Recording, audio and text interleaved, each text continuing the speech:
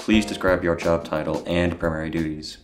Customer service for all the products, so cell phone, internet, and home phone throughout the years I've been there. So it's mostly just answering customers' requests in regards to switching something or adding on different price plans or just explaining their bill process. So really just all customer service work for it.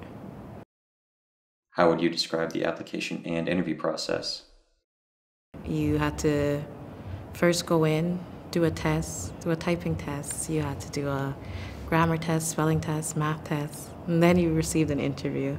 After the interview, they made you do a test during the interview, and then they'll call you back. So it's a very long process. What other advice would you give to a job seeker looking to get employment? To be prepared for how fast it is. It's not very laid back. It's go, go, go all day until you finish your shift. So to be prepared.